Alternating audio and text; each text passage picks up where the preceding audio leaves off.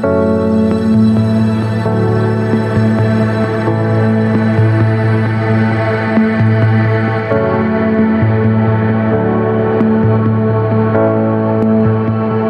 know it's all you've got to just be strong.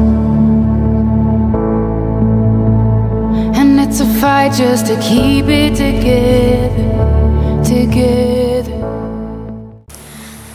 Mary Ann Rojas Coblao, 45 years old, a native of Barangay Tagakay, Santa Rita, Samar, teacher of Tagakay Elementary School, has rendered public service for 17 years now. Growing up, teacher Mary Ann dreamed of becoming a teacher. With her perseverance and dedication, she was able to achieve her dream. At first, everything seems to be perfect for her. She is so grateful that her prayers were answered. A dream career, a loving parents, a husband, and above all, a daughter.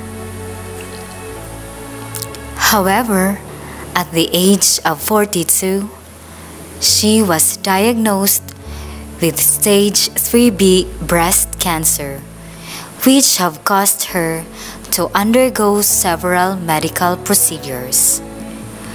Her right breast was removed. Then, her life started to shatter, especially when, due to her health condition, she woke up one day losing her husband. Despite all this, she is so determined to live longer in order to serve her purpose and, of course, to finance the studies of her only daughter. Fortunately, her body responded to the cancer treatments positively and she was able to live a normal life again. When she thought she has surpassed this fatal illness, life proved to be unfavorable for her. Her illness reoccurred two years later in a more life threatening stage 4B condition. It was the time that she wanted to give up everything, especially that her previous treatments left her in huge debt from different lending companies. However, her strong faith in God was the slightest beacon of hope she could ever have in order to move forward and live a life with a purpose. Teacher Mary Ann has truly become an epitome of hope and a symbol of inspiration to many. Despite her serious illness, she is still able to perform and ace all her tasks as a teacher. In fact, she has received an outstanding rating in the IBCRF. So ito Mary Ann, talaga maupa ito nga teacher.